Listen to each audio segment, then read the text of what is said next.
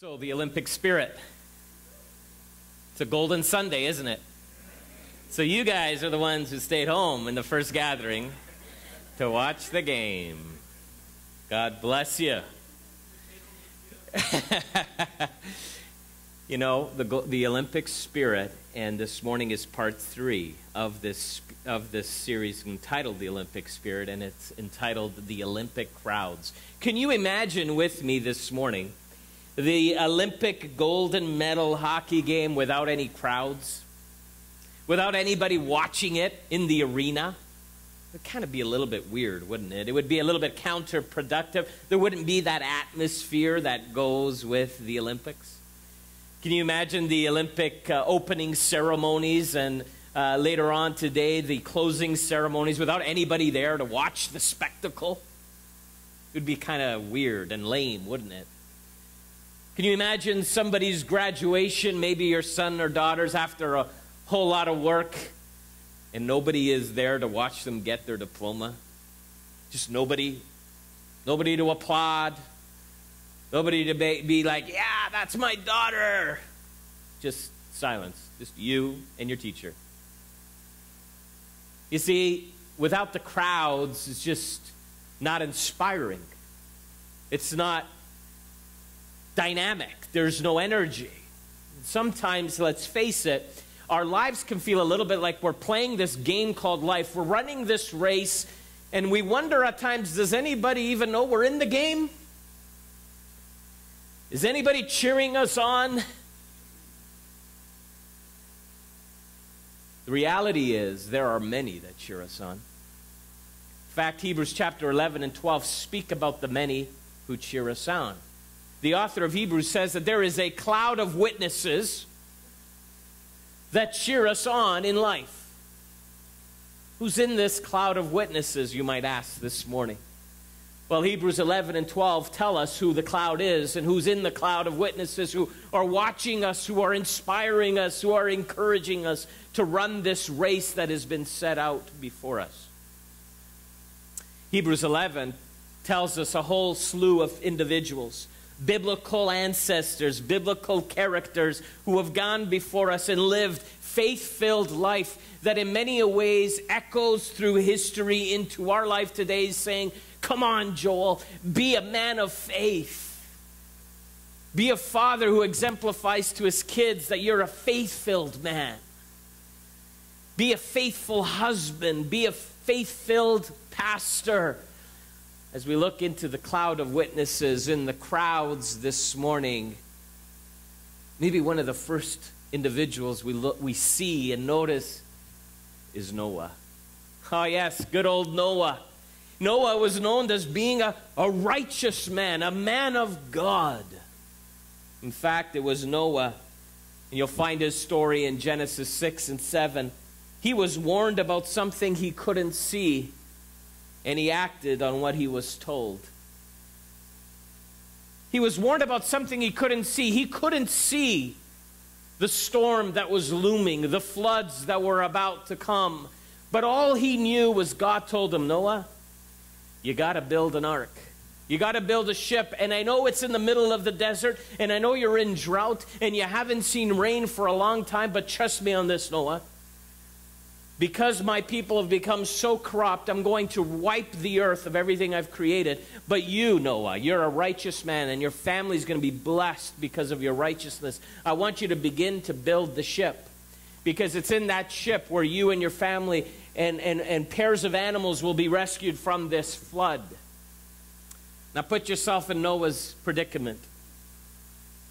What would you say? What would you do? It would have been easy to say, God, I mean, I, you know how much abuse I'm going to hear from the neighbors building a boat because there's going to be floodwaters? You can only imagine what they're going to say to me. But the scriptures say that over and over again that Noah did what God said. Noah did what God said. Noah followed through with what God commanded because he was a man of faith. That though he couldn't see it yet, he trusted in God's word. What God said mattered to him and it activated his faith. So he went out there day in and day out and built the ark that God had told him to build. And the story goes that the floodwaters came 40 days, 40 nights. And there was so much rain that the highest mountain was approximately 20 feet underwater. And the word says that 150 days went by as Noah and his family are out there in the water. And then in Genesis 8 1, it says, But God remembered Noah. He's a man of faith, isn't he? Didn't seem like it was a reasonable idea to build an ark, but if God says something, you do it. And Noah's out there in the stands, in the crowd of witnesses in your life, and he's saying, Look at my life. You see what I did? I believed God in faith, and look at what happened. My entire family and the human family was able to restart because I believed in what God told me to do. There are moments in your life and in mine where God says, I need you to do this. I need you to take this step of faith. Though you can't see what will transpire after, trust me. Have faith in me. So there's Noah this morning. He's inspiring us. He's in the cloud of witnesses. If we look around in the, in the crowds, we find also a man named Abraham. Ah, yes, Abraham. What a man of God. The scriptures teach us that Abraham said yes to God's call to travel to an unknown place that would become his home.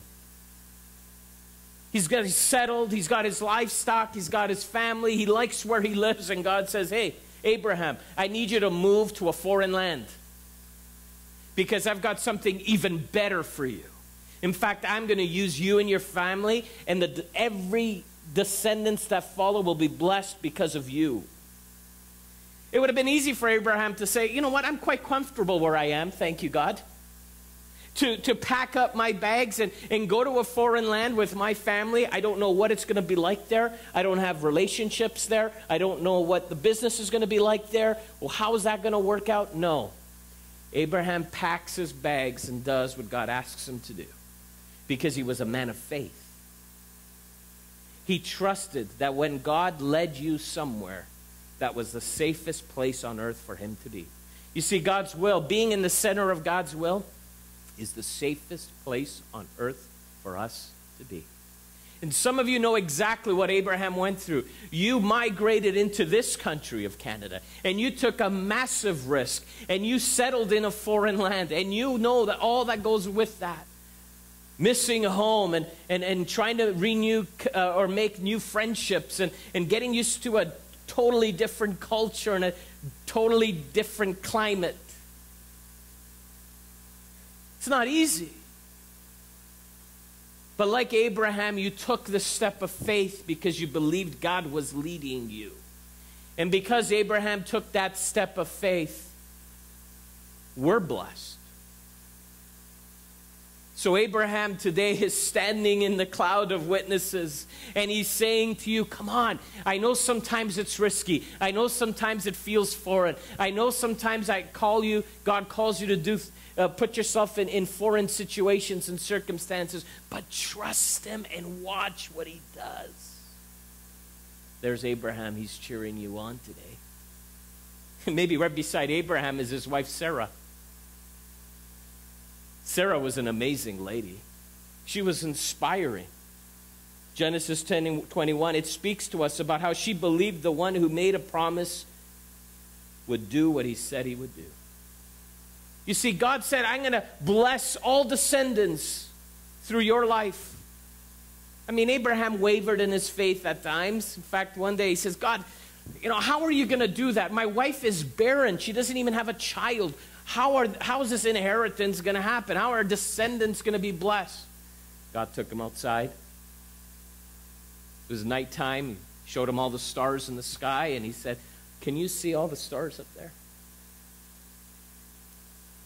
Your descendants will be blessed beyond the number of stars in the sky. Trust me, Abraham.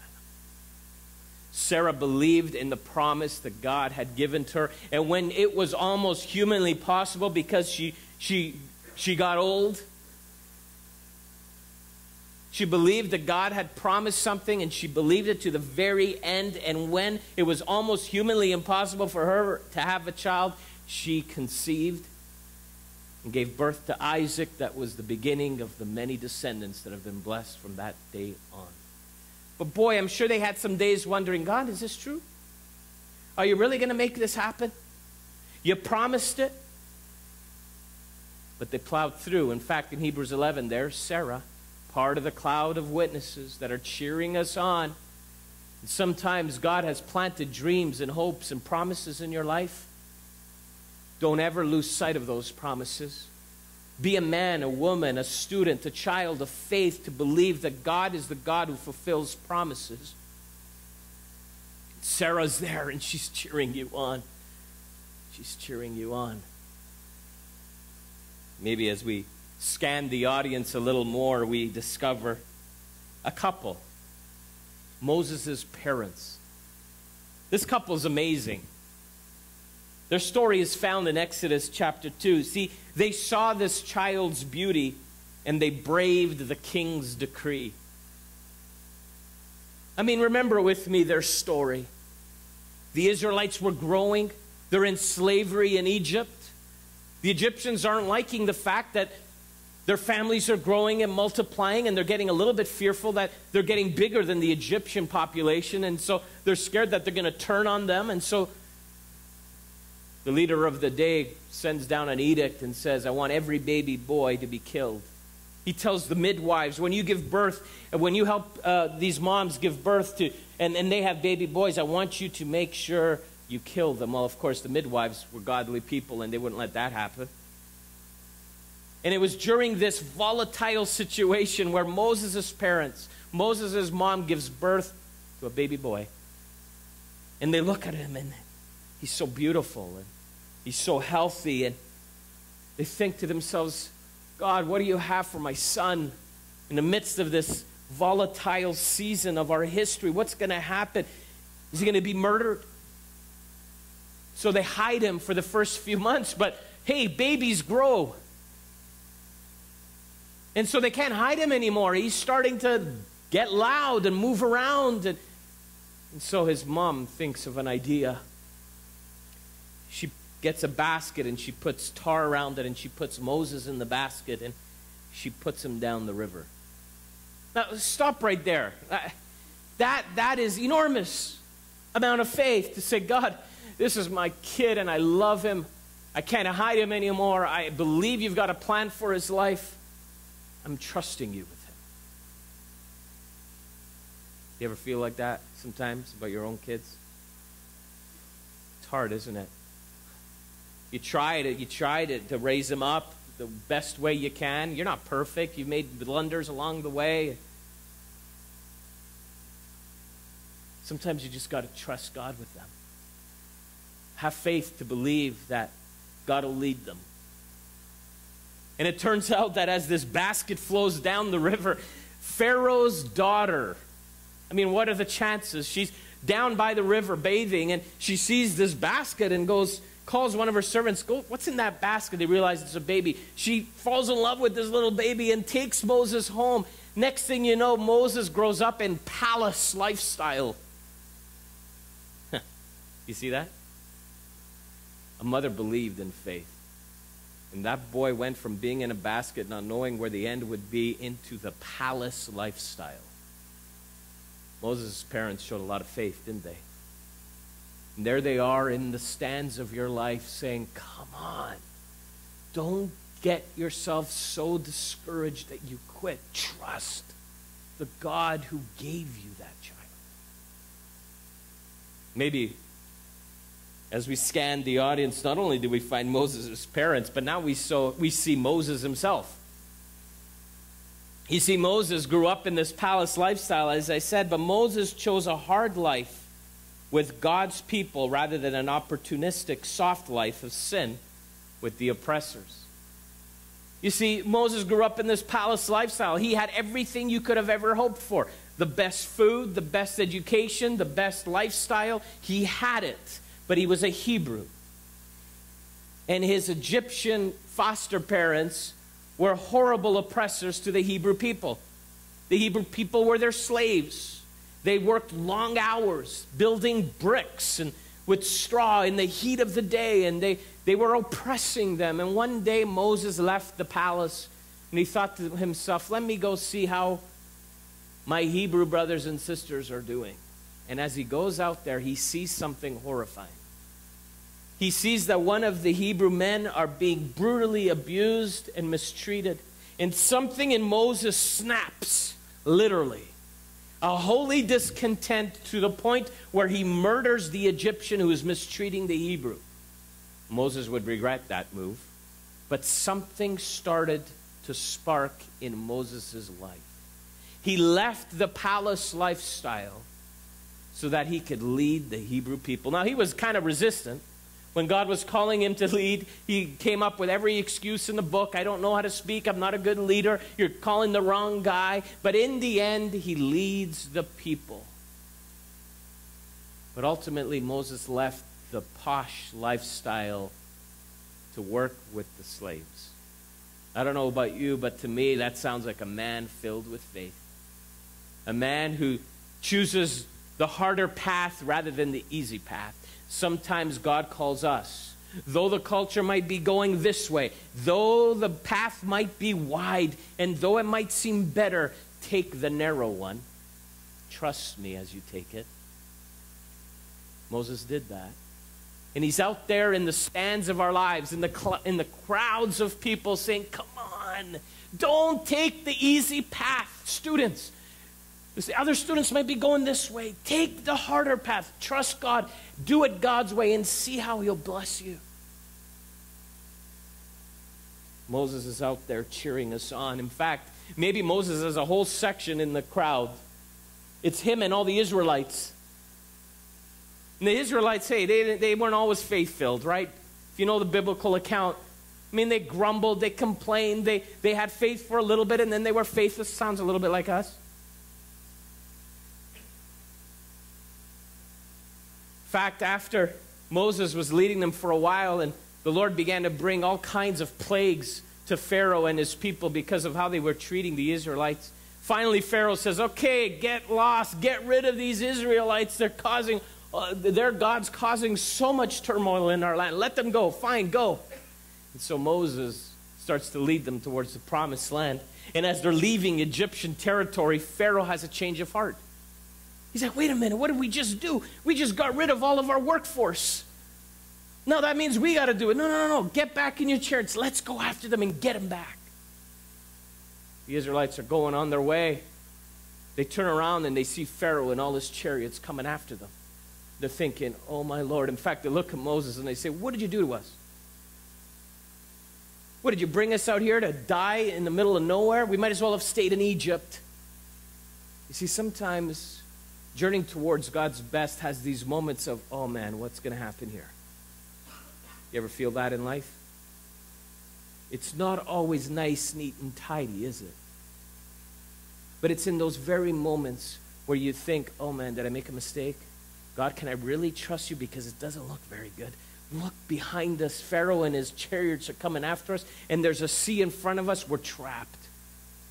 And it was in that very moment where God says to Moses, Get that hand over the, get that rod over that water and watch what I do. And he does it. And God sends this wind and he puts one side of the, of the, of the waves on one end and the other on the other. And there's this dry piece of land down the middle of this sea. And they begin to walk down dry ground. I mean, you can only imagine these Israelites are walking on dry ground, but there's walls of water beside them.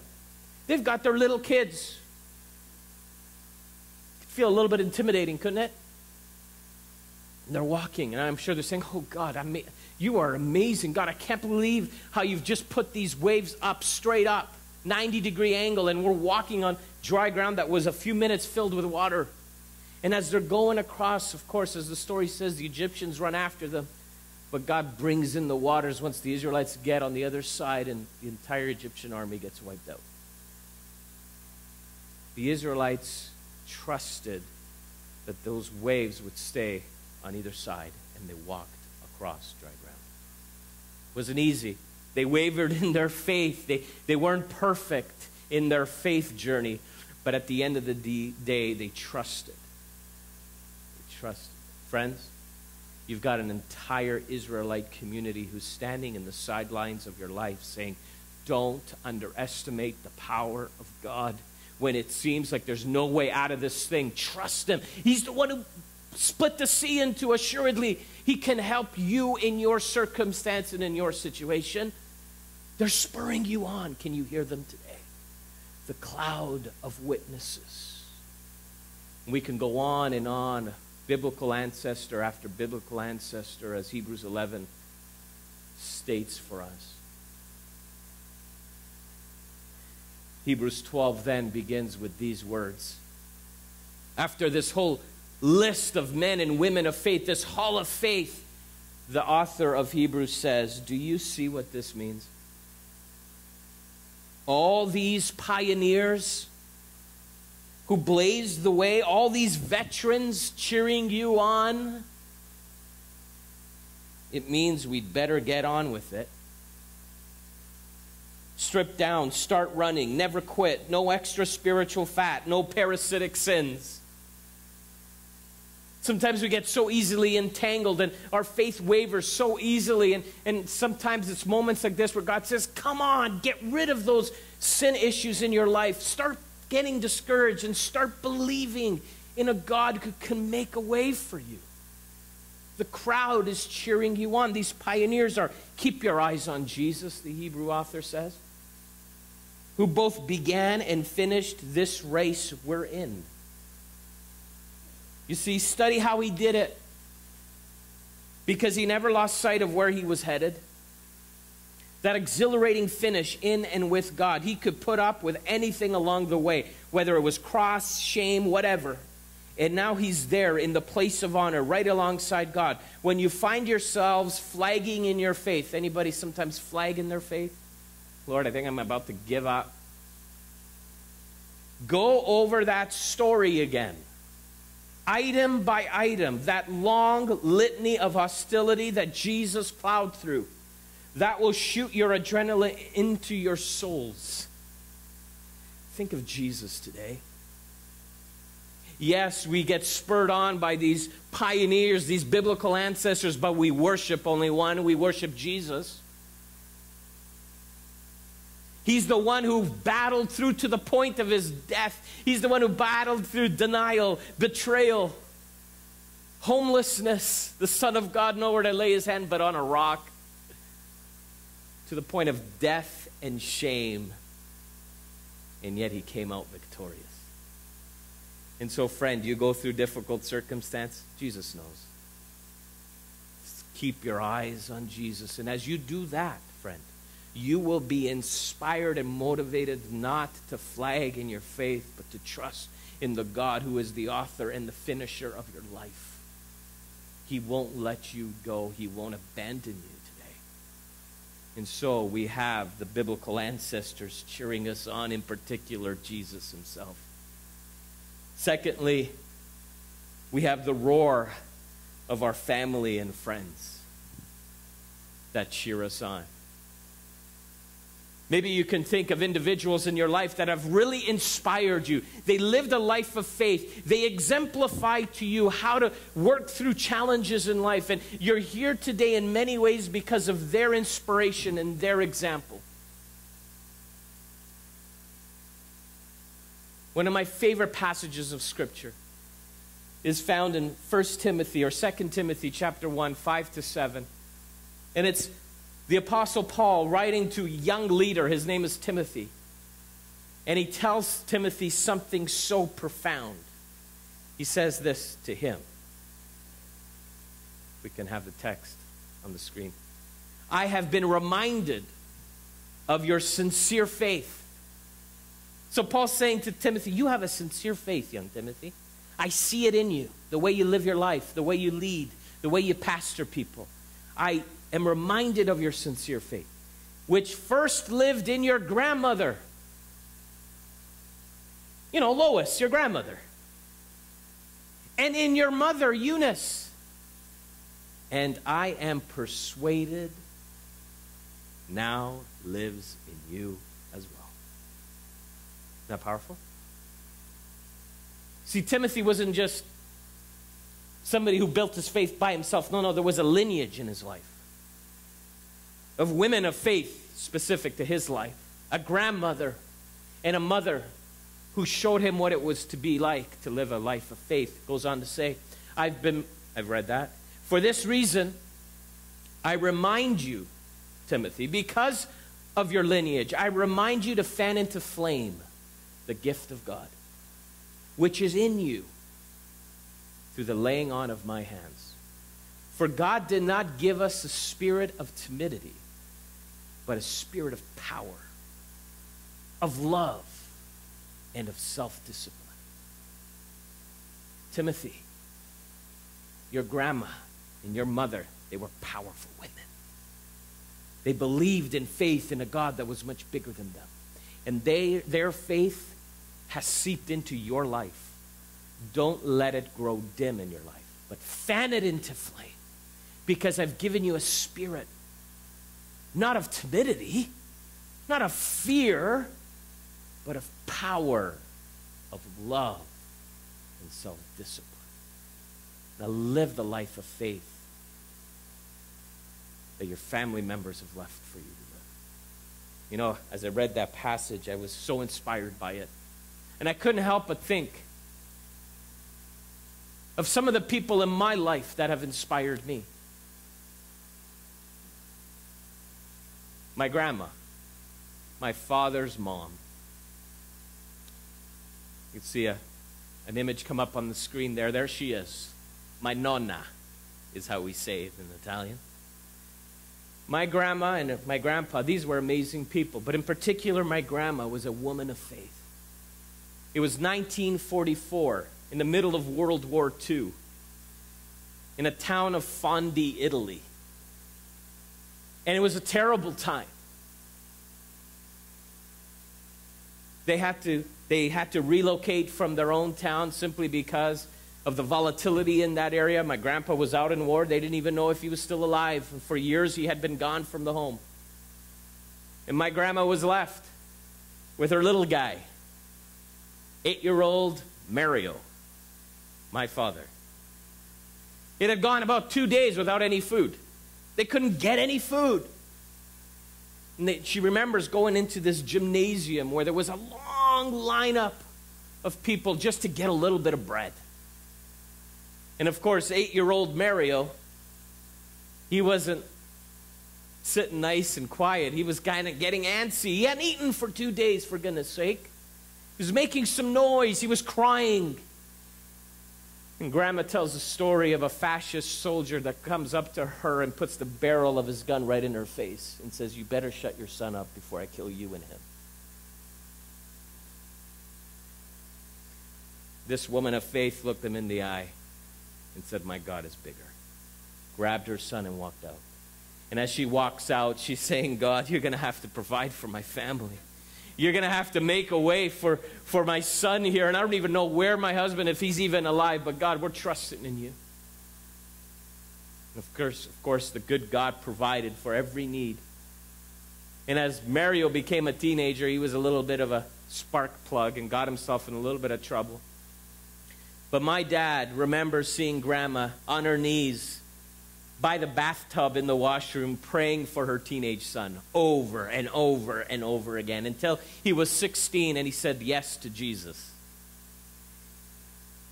That moment he said yes to Jesus, he had this compelling desire to share the gospel to others. And that is what he did. He started preaching soon after. At the age of 18, he was pastoring a church. And he's been preaching ever since 50 plus years later. And it's interesting to me to think that now he has grown three kids himself.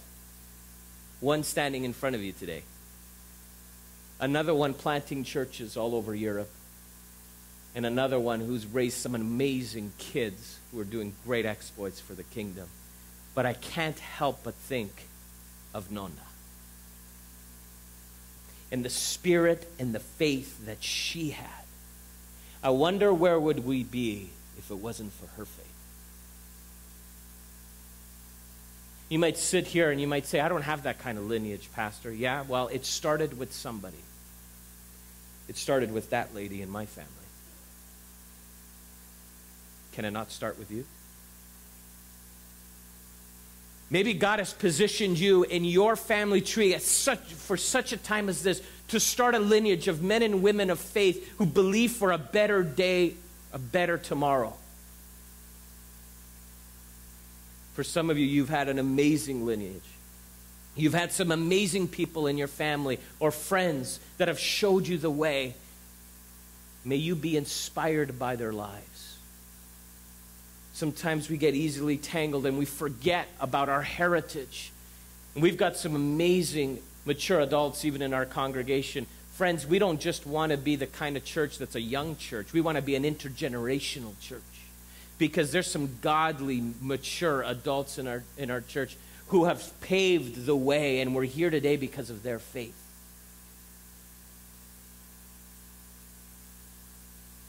You got family, you got friends that are cheering you on. Don't get distracted by parasitic sins or doubts or questions that deter you from living a life that is worthy of God's calling on your life.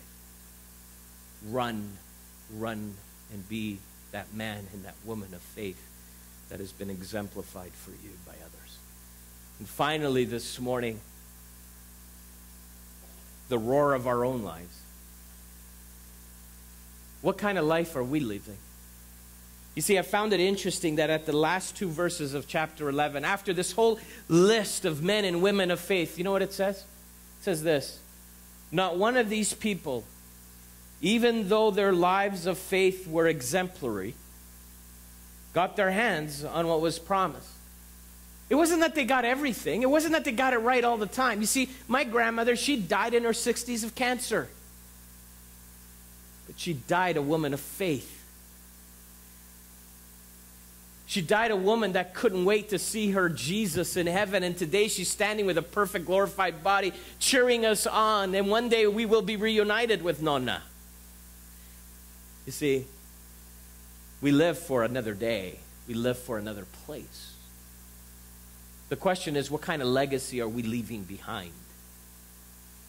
You see, not one of these people, even though their lives of faith were exemplary, got their hands on what was promised, God had a better plan for us. That their faith and our faith would come together to make one completed whole their lives of faith not complete apart from ours. So, what's the author saying? He's saying the story isn't over because your story still needs to be written. Their stories, including our stories, make the whole story. So, the question becomes what kind of story are you writing? What kind of story of faith are you writing? Because the story of God is not over, it includes yours. I conclude with this illustration. True story about a white Zambian farmer who moved his family to South Africa for a, a better day. His desire was to plant an amazing crop of potatoes. But as he landed, the scientists of of, of South Africa told him, You better not plan on planting any potatoes here because there is major drought. And if you don't have any irrigation in place, this is not going to work for you. But he believed that God had called him. It's the true story of a man named Angus Buchan. There's a whole movie that has been filmed, a biography of his life. But, friend, it wasn't an easy journey for him and his family. They did go through drought, they did go through wildfires, but they believed a God who can overcome the challenges of their life. Here's a depiction of what faith looks like. Show the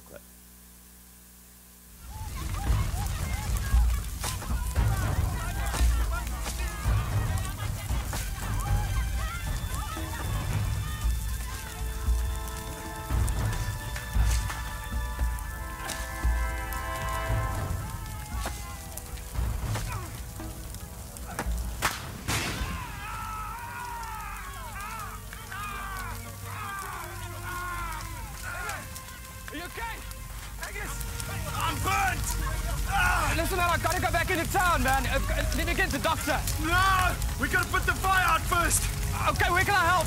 Start here! The lime match plantation, they'll sue me! Get it! Get it out!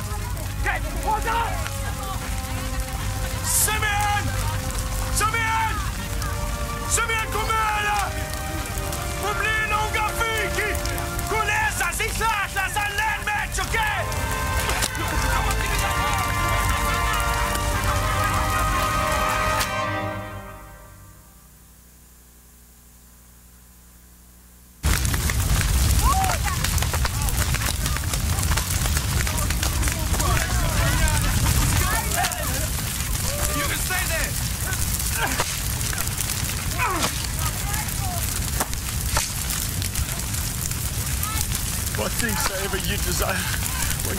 believe that you shall receive them you shall have them. What things soever you desire when you pray, believe you shall receive them and you shall have them. Simeon! Alitana Zela! Vula manje! Ai, ai, zumuni mvula manje. Ihlobo likaThwesa. Alitana Zela vula manje! Ayizumuna manje imvula. AlikaThwesa ihlobo.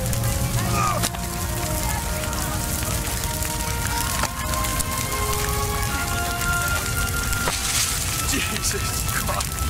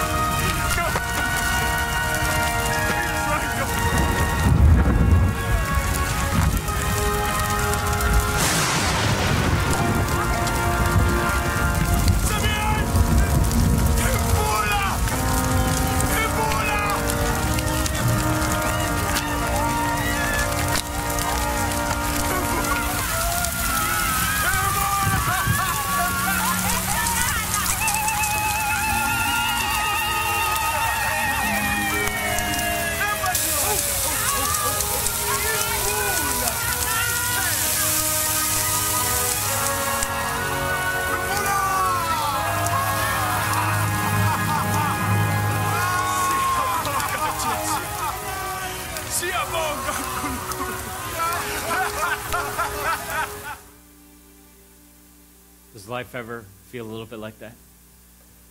Where it's like, God, we feel like we're fighting fires all the time. Is there any way out of this thing? Friend, it's in those very moments where God says, Show me your faith. Can you just show me you believe in me? Trust me. Trust me to send the rain when you need it. Trust me to send a friend when you need him most. Trust me. Trust me. As I was preparing this message, I think there's a moment here, and in our first gathering, something powerful happened. God came down and touched people's lives. People who were down and out and ready to quit on life were inspired by the scriptures. And I am believing for that in this gathering. What is it that you're bringing to Jesus today? You maybe have wavered in your faith, but today you can take the step of faith and say, No, I'm going to trust Him. Whatever the outcome, I'm going to follow you, Jesus. I'm going to trust you with my life. I'm going to trust you with my kids. I'm going to trust you with my family. I'm going to trust you with my health. I'm going to trust you with my resources and my finances. I'm going to trust you with my job. I'm going to stop getting tangled up and defeated, but I'm going to trust you in the midst of my storm. Listen, even as a church, God's asking us, Do you trust me? God is on the brink of, of wanting us to take a massive step of faith. And you'll hear more and more about it as we come to our annual business meeting. Are we going to believe in Him in faith?